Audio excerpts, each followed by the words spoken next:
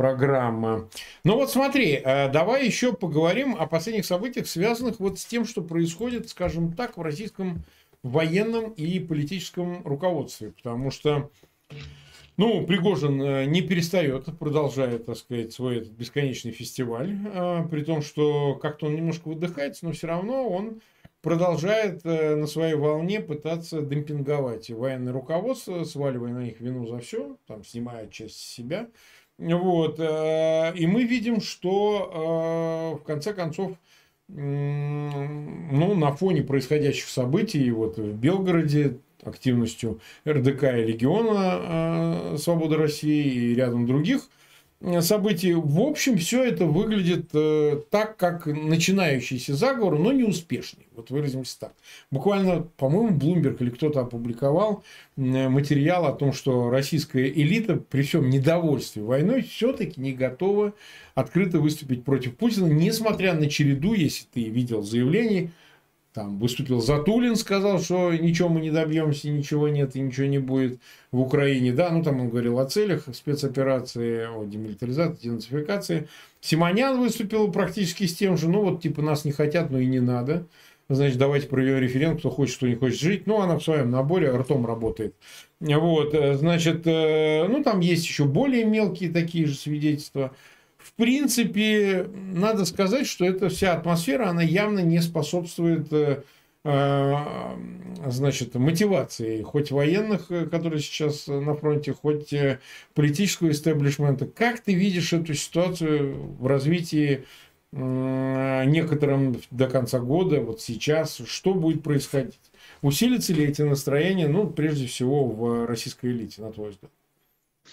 Ну, как говорил еще Сунзы, разъединенный дом падет. Да, поэтому мы, безусловно, заинтересованы в том, чтобы подобное панические настроения в российском руководстве а, и политическом, и военном, и бизнесовом, они ширились для того, чтобы э, центробежные тенденции увеличивались, э, и мы понимаем, что для этого есть все основания, и недовольство региональных элит в том числе.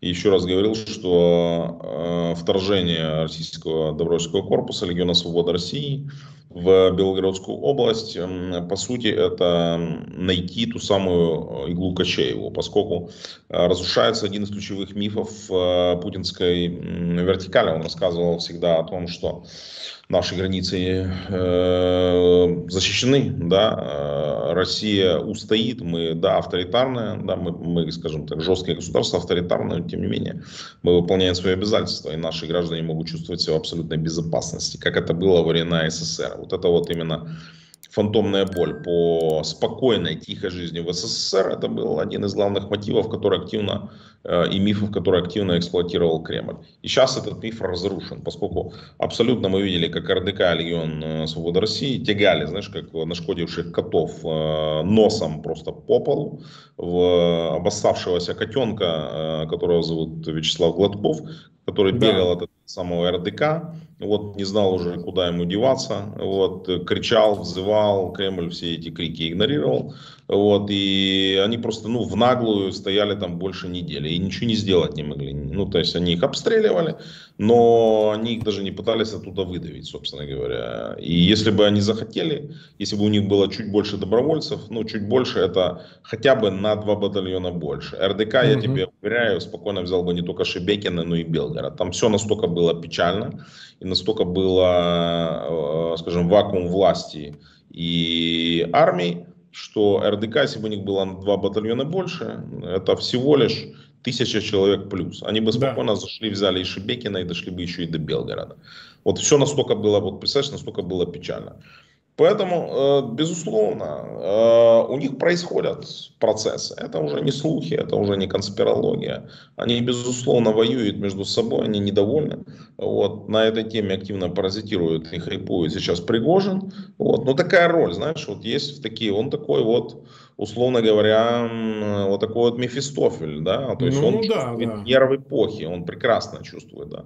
И он входит как нож в масло э, в тело российской власти. Он прекрасно видит, насколько все прогнило, насколько все разлазится, и он пользуется этим э, по полной программе. Его заявление о том, что если не справится официально, значит, э, власть и армия, вагнеровцы зайдут туда и защитят, поверь мне, все это слышат, все это видят. И каждый губернатор, не обязательно приграничных с Украиной областей, а любой сегодня российского региона, это все примеряет, собственно говоря, на себя. Он понимает, что никто никого не защитит. Это зашла всего лишь, ну там как, какие-то два относительно небольших подразделения диверсантов, подготовленных РДК Легион России. А если зайдет китайская армия, я прошу прощения, да. Да. а если зайдет туда украинская армия даже, которая туда не заходила, вот она зайдет, да, зайдет туда, будет введено, ну хотя бы пару бригад.